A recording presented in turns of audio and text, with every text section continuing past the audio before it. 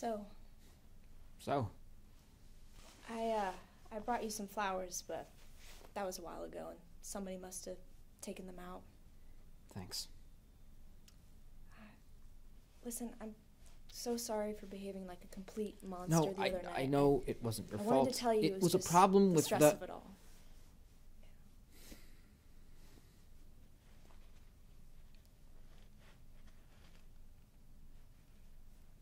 Oh my god.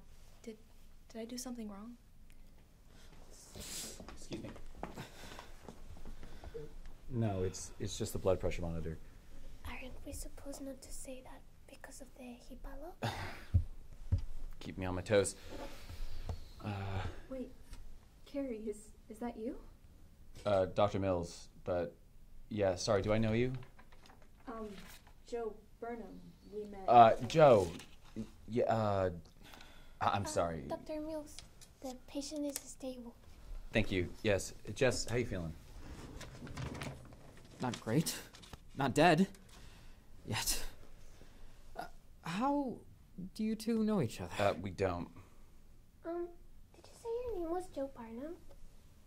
Yeah. Why? Is is there a problem? Um, no, no. I mean, I just, you know, there's a lot of names around here and stuff. Um, I just thought your name sounded familiar. Um, this is, I mean, I'm.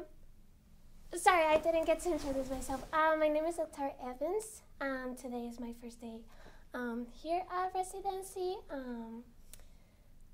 Anyways, I think we should keep the patient um, on overnight observation. Yeah, of course.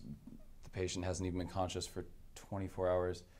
Um, Evans, why don't you go check on our patient in 305? Make Oh. sure she's got her juice. Right. Of course. I'm sorry. Apologies. First day in a new hospital can be intense. Um, you you really don't remember me? I can't say that I do. Jess, I'm really glad to see you awake with the amount of HIPAA laws. Uh, Joe, was it Joe? Yeah. Could you step outside for a minute? I need to have a conversation with my patient. Of course, Dr. Mills.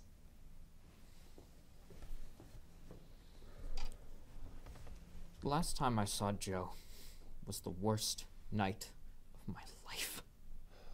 Well, at least it wasn't the last night of your life. I mean, with the amount of fentanyl in your system, I'm surprised you can even remember it. I mean, look, How do you know, Joe? Dr. Mills? I don't think. that- How do you know her? Because if you know her, you're either fucked up like her, or you better run. I uh so sorry to interrupt, um but Jess, it was really nice to see you awake. I never thought I'd talk to you, let alone see you again. Um anyways, I uh I better go, but Carrie it was it was nice seeing you. I'm sure we'll see each other again.